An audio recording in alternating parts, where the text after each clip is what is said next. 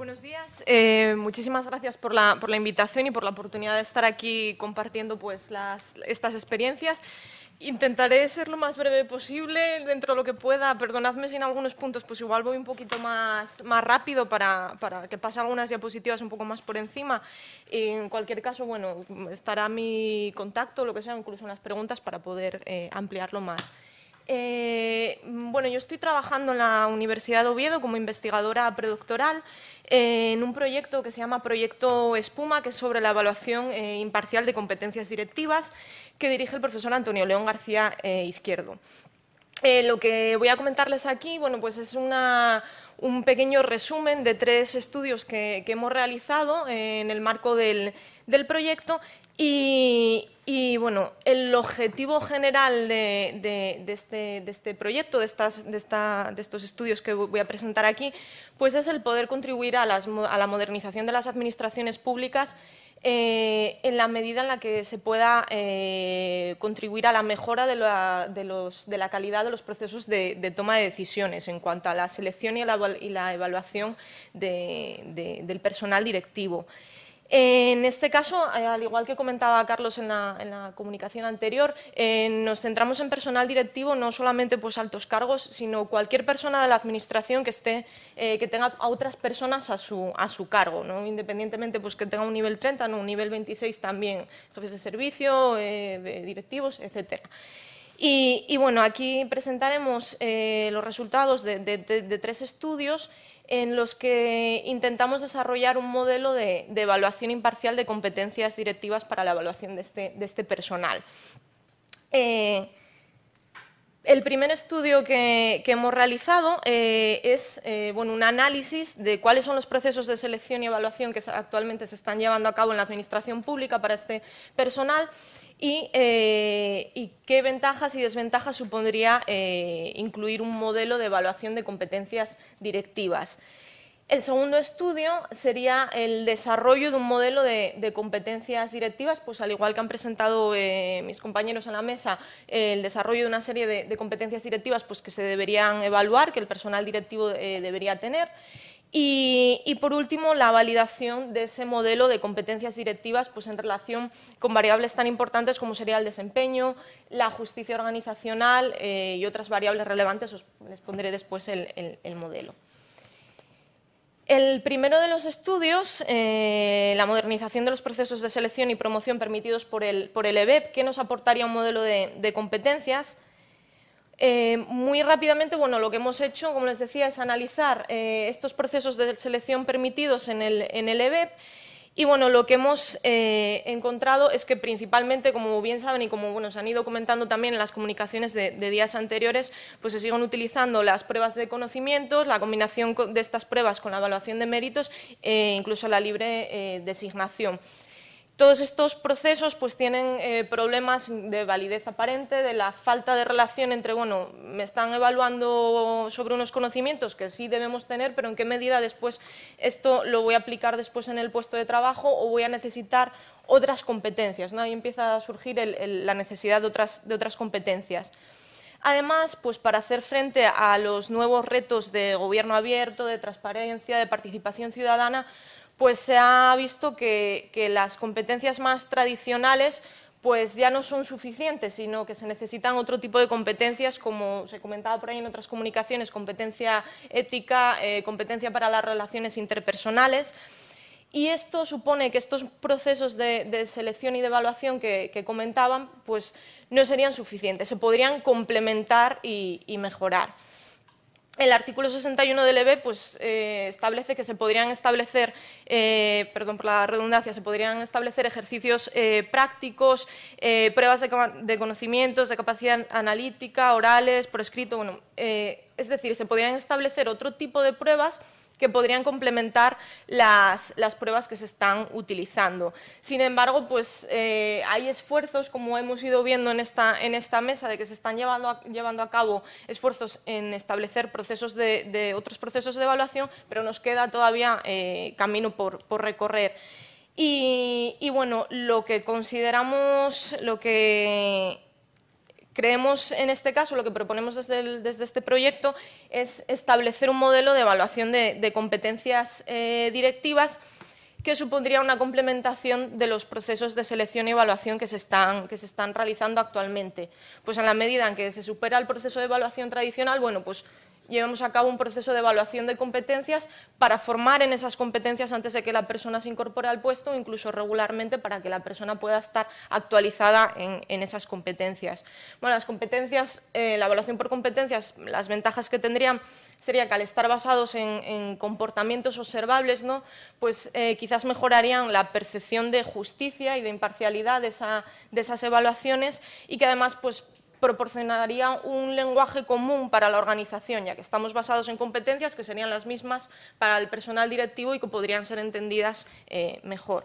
Entonces, bueno, una vez que tenemos este modelo de, esta necesidad del modelo de, evaluación de competencias establecido, pues el siguiente paso, el siguiente estudio que hemos realizado es, vale, ¿cuáles son las competencias que, deberíamos eh, evaluar? Entonces, para ello hemos realizado un, estudio en el que bueno, partimos de la base de que no podemos coger un modelo de, competencias ya creado, por ejemplo, en otros países que sí que están utilizando evaluación de competencias y decir, bueno, pues lo trasladamos para aquí y lo utilizamos. No podemos hacer eso, sino que lo, tenemos que adaptar a las propias necesidades de nuestra, de nuestra organización. Y para ello, eh, el proceso que hemos seguido para evaluar este modelo de competencias ha sido combinar una revisión de modelos de competencias eh, ya establecidos con grupos de discusión y paneles, un panel Delphi para, para llegar a concretar las competencias que necesitaríamos evaluar. Les pongo aquí un resumen de estos pasos que hemos ido siguiendo. En primer lugar, hemos hecho un análisis de contenido de modelos de competencias de otros países, bueno, también de, España, pero también de Estados Unidos y de, Inglaterra. Hemos recuperado pues, un montón, 355 artículos, de los cuales, bueno, 35 eh, eran válidos para los objetivos que, que nos habíamos propuesto de analizar esos modelos de competencias y elaboramos un marco de competencias previo, un marco de competencias preliminar que después eh, sometimos a evaluación mediante grupos de, discusión. Eh, este primer paso lo hicimos pues, en la Administración Pública de Asturias, con personal, pues, jefes de servicio y personal directivo de la Administración Pública de Asturias y también con expertos en, recursos humanos y eh, fuimos depurando ese marco de, competencias en función de sus comentarios y de lo que, de lo que veíamos en las, en las reuniones que era importante hicimos un tercer paso que consistía en una nueva depuración del marco, de competencias que habíamos obtenido ahí para perfeccionar ese, modelo de, competencias. Y por último, hicimos un panel Delphi, también con un grupo de expertos que nos ayudó a, concretar más aún ese modelo de competencias y eh, a depurar los descriptores comportamentales de cada una de esas competencias. Pongo aquí las tablas, pero bueno, lo voy a decir por encima porque además, bueno, este no serían las competencias finales, hay una diapositiva más adelante. Estos serían los resultados del análisis de contenido eh, previo que hicimos de los artículos que habíamos recuperado pues, de España, de Reino Unido y de Estados Unidos. Aquí simplemente destacar que las competencias que veíamos como más importantes en un país y en otro, pues no eran las mismas. Y esto pone de relevancia el hecho de que no podamos coger un marco de competencias ya establecido en un sitio y trasladarlo directamente a, a otro. Después, los resultados de, los grupos de, discusión.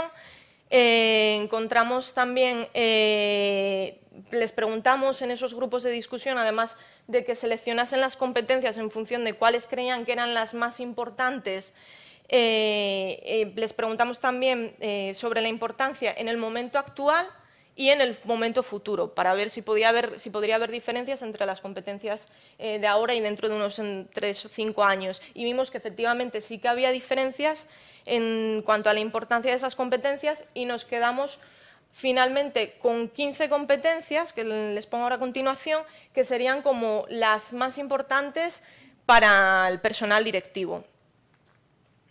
Serían estas que están aquí en esta columna, y finalmente, claro, eran 15 competencias, nosotros lo que queremos hacer es evaluar esas competencias y en el panel, en el panel del FI final con, el grupo de expertos lo que hicimos fue reducir esas competencias a ocho, agrupándolas, de forma que nos quedamos con esas ocho competencias y sus descriptores comportamentales en niveles, como se comentaba en otras comunicaciones, de básico, intermedio, experto, para eh, poder evaluar esas competencias. Serían comportamiento ético, orientación al servicio público, conocimiento, identificación y compromiso con la administración pública, liderazgo y creación, liderazgo y, creación y gestión de equipos, planificación, orientación a la innovación, reconocimiento y regulación de emociones propias y ajenas y comunicación y negociación. Dejamos fuera la, competencia de conocimiento técnico y profesional pues porque comprendíamos que sería como un requisito eh, para, el puesto y comprendíamos que, nos eh, centraríamos en las, otras competencias.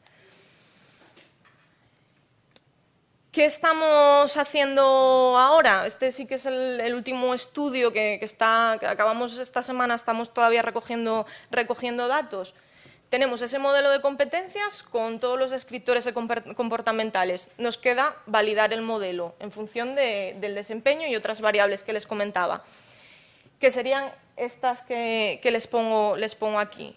Tendríamos, lo validaríamos en función de la justicia organizacional, importante en términos de, imparcialidad y, y de validez de las pruebas, y pues las variables resultados pues sería desempeño. En este caso tenemos desempeño contextual, percibido y comportamiento poco ético en pro de la, organización. ¿Qué hemos hecho? Hemos desarrollado un cuestionario, hemos eh, creado un cuestionario, el cuestionario COMDIR, eh, con todas esas competencias que les mostraba antes y sus descriptores comportamentales. Y hemos introducido otras escalas pues, para evaluar estas variables de justicia organizacional y desempeño y lo hemos, eh, nos hemos puesto en contacto pues, con administraciones eh, públicas, ya para no centrarnos ya solo en Asturias, sino hacerlo a un nivel más, más amplio. Y, bueno, eh, tanto de administraciones públicas como a nivel autonómico, perdón, como en ayuntamientos, también hemos contactado pues, con universidades, y pues hasta la fecha pues hemos conseguido una respuesta de 439 eh, personas, como les decía, personal directivo, pues desde jefes desde el nivel 26 eh, y, en, ese, proceso estamos. Aprovecho aquí también para agradecer públicamente, pues seguro que muchas de las personas que están aquí, incluso aquí en la, mesa, pues que han colaborado con, nosotros dándole difusión al cuestionario. Eh, tenemos una representación ahí bueno, de los participantes que hemos obtenido hasta, hasta la fecha y de esto sí que lo que les comentaba, tengo tenemos solamente los resultados así descriptivos, pero estamos trabajando en ello todavía para hacer la, la validación final de este, de este cuestionario. Eh, bueno, estos son los resultados de la fiabilidad de las escalas, que bueno, eh, sería, bueno, sería una fiabilidad alta, todas por encima de punto 70, especialmente centrándonos en las, en las competencias, que es lo que más nos interesa, que está basado en esos descriptores comportamentales que hemos elaborado en el, en el estudio. Y bueno, aquí sí que no me detengo más pues, por tiempo y porque les decía que estamos ahora, queremos validar ese modelo pues, haciendo eh, un modelo de ecuaciones estructurales para ver cómo se relaciona cada una de las eh, competencias con, las variables eh, resultado. Pero bueno, en cualquier caso, en el turno de preguntas, creo que dejo 10 minutos que, que, iría bien, pues cualquier duda o cualquier cuestión lo podría ampliar un poco más. Y, como discusión de lo que hemos presentado aquí, pues nada, simplemente que estamos trabajando en elaborar este, este modelo de, competencias directivas y la idea es que una vez que validemos este modelo, poder desarrollar pruebas para su, eh, evaluación. Y bueno, como se comentó por aquí anteriormente también, pues desarrollar pruebas basadas en, esos comportamientos, en esos descriptores comportamentales, pues como pueden ser eh, muestras de trabajo, test de juicio eh, situacional que, en los que se mejore pues, la validez aparente y de, y de, contenido. Y bueno, las referencias y dejo por aquí mi correo electrónico, el correo también del, investigador principal del, proyecto y la página web del proyecto, pues por si tienen interés en, conocer un poco más en qué estamos trabajando y en qué punto está el proyecto. Y nada más, así muy rápidamente, perdón por las, por las prisas. Muchas gracias. Gracias, Ana.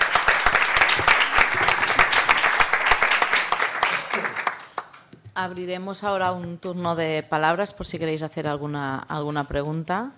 Um, no, Jordi no, m'han dit, eh? ho sento. No, eh, detrás han pedido primero una palabra, després vas tu, Jordi, i després aquí davant. Allà, aquella senyora...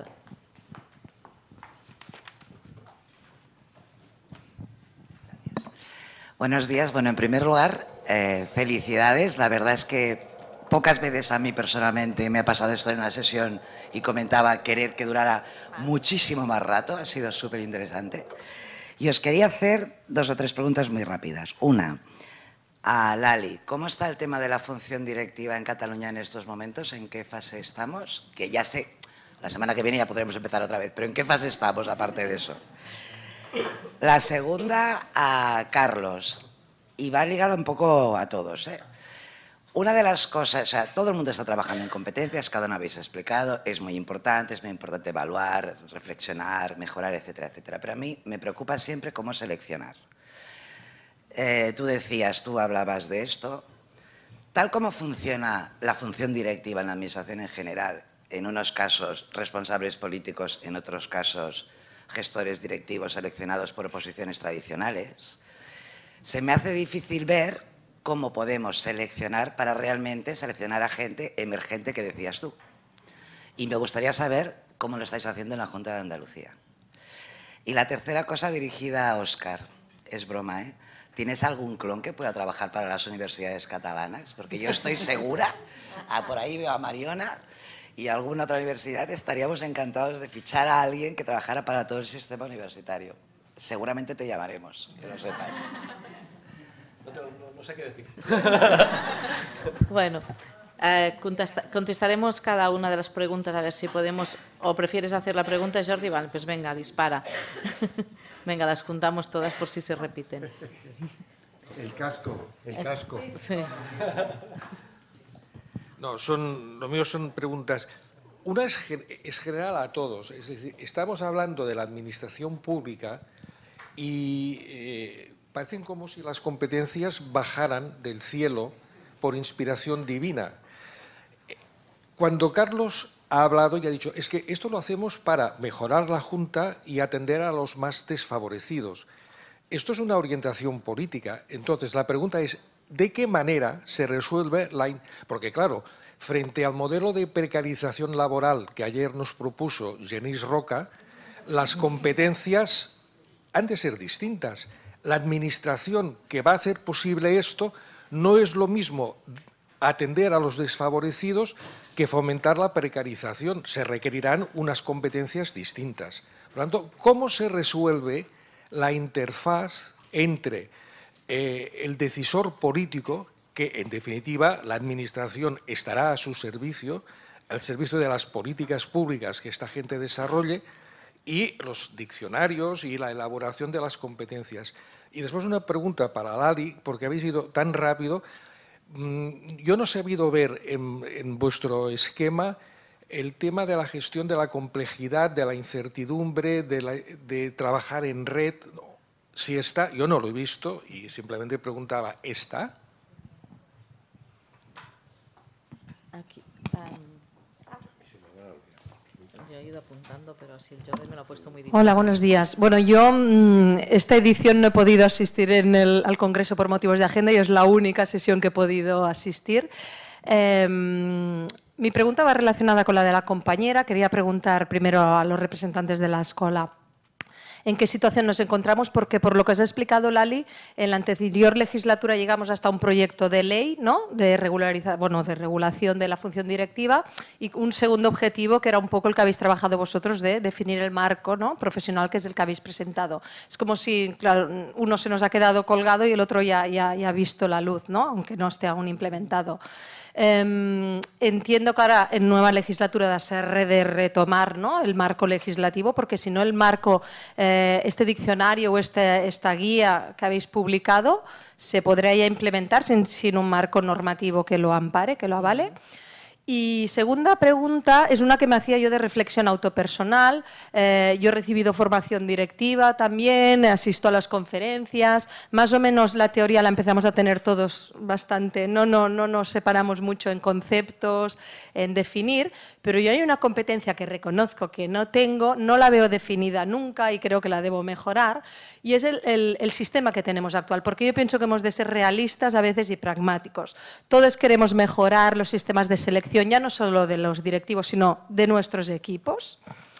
Eh, queremos medidas más flexibles para poder eh, tener movilidad con nuestra gente, con nuestro equipo, porque hablamos, sí, de, de, innovación, de transformación, de tener equipos innovadores, pero bueno, con un directivo muy innovador, si el equipo no lo tienes, ¿cómo podemos definir esa capacidad en este es tu equipo, flexibilidad poca, selección con las normas de función pública de selección, ¿cuál es esa habilidad que nos permite, que todos lo sabemos, ¿eh? sacar de cada uno lo mejor, encontrar de cada uno lo mejor? Pero esto, ¿cómo?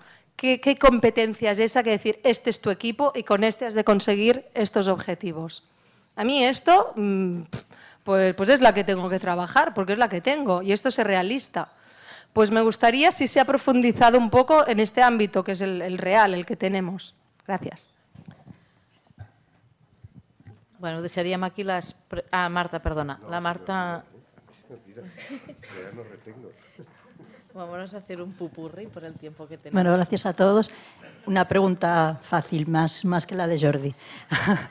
eh, es, es, saber, a ver, estamos hablando de, de, de, que la formación debe salir de los espacios habituales de aula y, y mi pregunta es, sobre todo para Óscar y para Carlos, eh, ¿Qué figuras posibilitan hoy en día, además del formador clásico o del curso en línea, qué otras figuras habéis requerido crear en, la, en las organizaciones para que impulsen estas nuevas maneras de aprender, estos nuevos espacios de aprendizaje? ¿Eh? Pues hablado de coach, pero seguramente también hay otras figuras intermedias, como cómo detectáis las necesidades a través de quién. Oscar, tú hablabas de que habla, eh, trabajabais con cada hospital como independientemente, bueno, tenéis ahí figuras que os facilitan eso, bueno, por ahí va. Bueno, voy a empezar yo, a ver si hago un resumen sobre el modelo de dirección pública en la Administración Pública Catalana. Mm, sé igual que vosotros, o sea, sé, se llegó a, concretar un proyecto de ley, llegó hasta el Parlamento, no ha sido aprobado. Esperemos que se retome en esta legislatura, pero no sé más.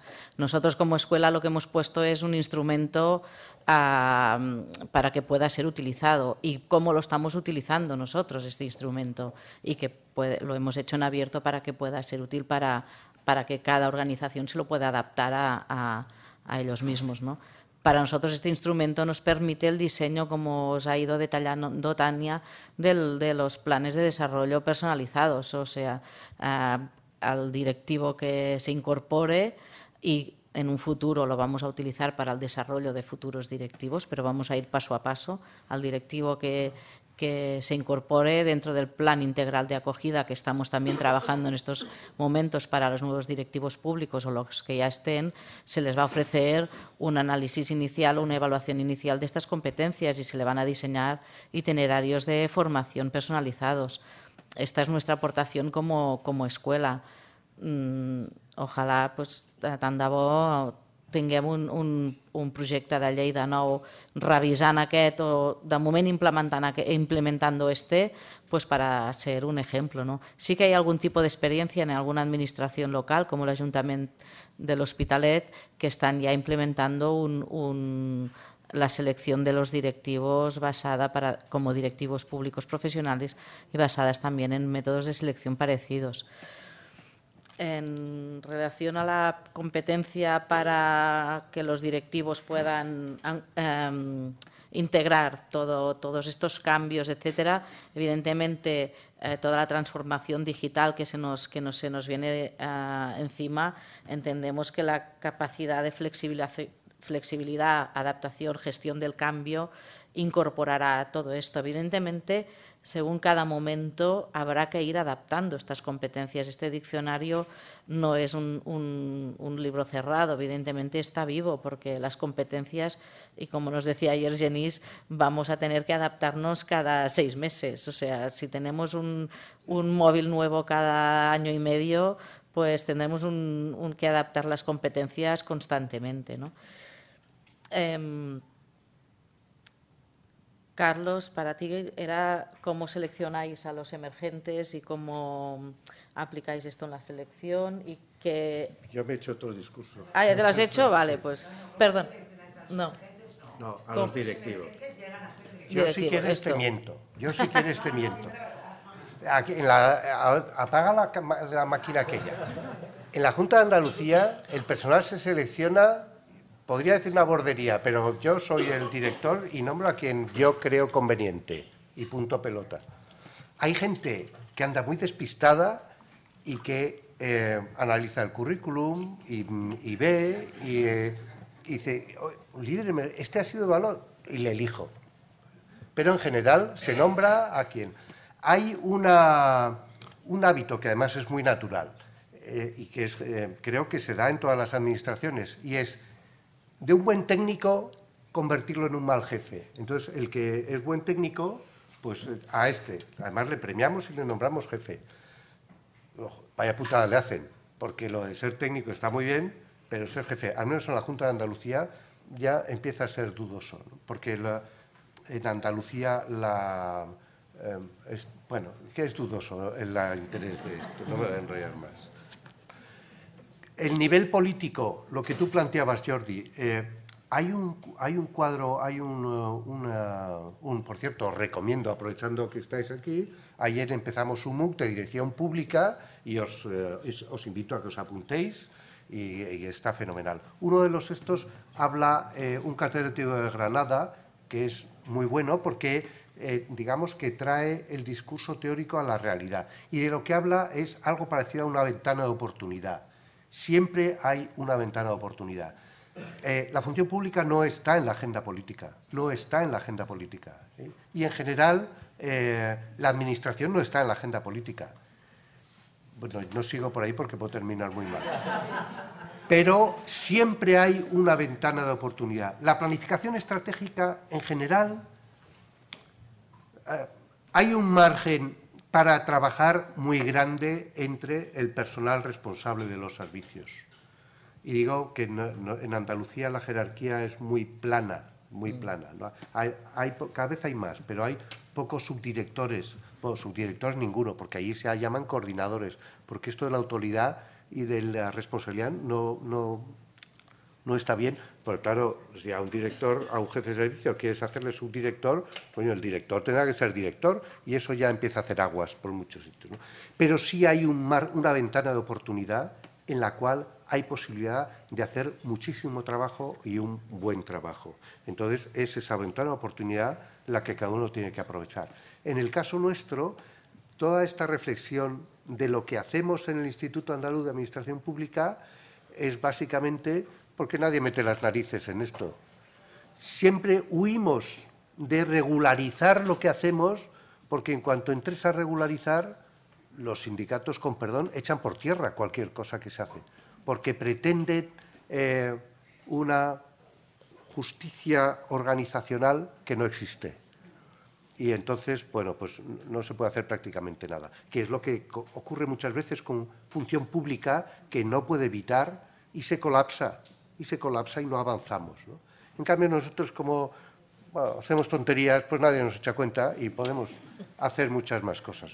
Y es alcanzar una masa crítica para que luego esto pueda, en un momento dado, que viene alguien, lo utiliza y lo aprovecha.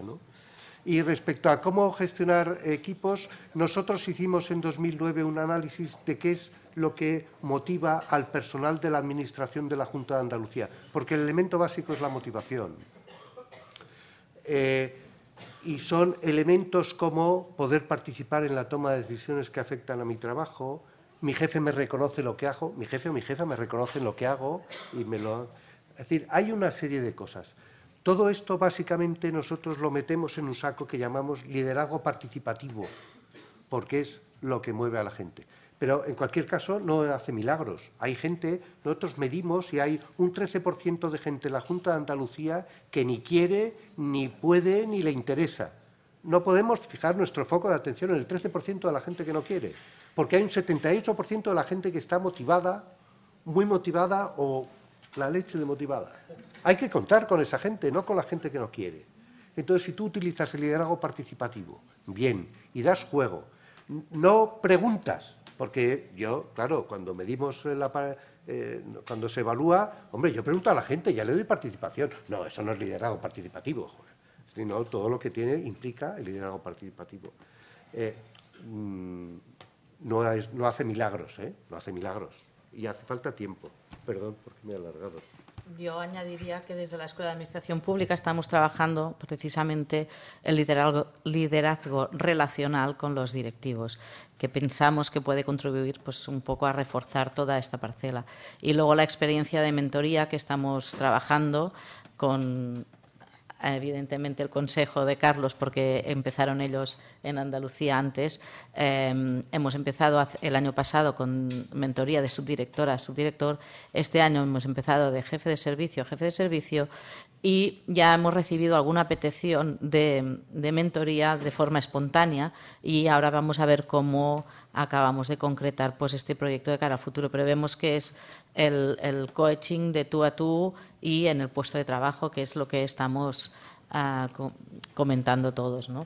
¿Me das un minuto? Eh, tengo que venderos otro producto que es extraordinario. Lo mismo que hacemos mentoría de persona a persona, acabamos de empezar mentoría de equipos. Es potentísimo, es potentísimo.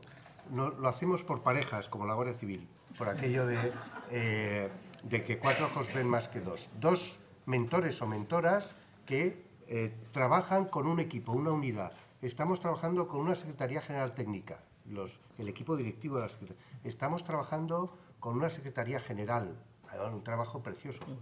Eh, os recuerdo que soy imbécil, y entonces me, creo mucho las cosas. ¿no? Y realmente se consigue avanzar. No, no, es la solución, porque no existe la solución. La, la función pública no tiene solución, no existe pero sí avanzamos, que es lo que creo que es importante. Y de verdad os recomiendo mentoría de equipos, intervenir en la organización, donde además de mentoría se puede utilizar todos los recursos que hay en torno a la formación, que ya la formación no es lo que era antes, sino que hay muchas más cosas. Recursos de aprendizaje. Sí, os seguiremos de cerca, Carlos, con la mentoría de equipos, porque vemos que es un, un segundo paso. Simplemente dejarme agradecer a los participantes la implicación en el simposio. Ya venimos nosotros unos cuantos trabajando conjuntamente desde el GIGAP de la edición pasada y realmente hemos formado, pienso, un equipo eh, de trabajo completo y además pues divertido y que nos lo, nos lo estamos pasando bien. Vemos que hemos podido integrar la perspectiva de las competencias y la gestión integral de recursos humanos desde la formación de los estudiantes de grado, pasando por elementos que pueden facilitar la selección de tanto de directivos como de, otros colectivos basado en la gestión de competencias y luego en los planes de desarrollo y, como no, eh, Tandabo, que no me sale la palabra en castellano, ojalá, ojalá se pueda ah, gestionar pues desde la Dirección General de Función Pública o la Organización de Gestión de Puestos de una forma más integral. Nos falta, como decía Carlos, estar en la agenda política y a ver si esta nueva legislatura, al menos aquí en Cataluña, nos, nos lo trae. Gracias por todo.